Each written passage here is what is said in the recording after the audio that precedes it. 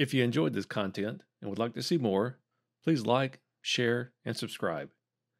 If you did not enjoy this content, but still made it this far, thank you for your time.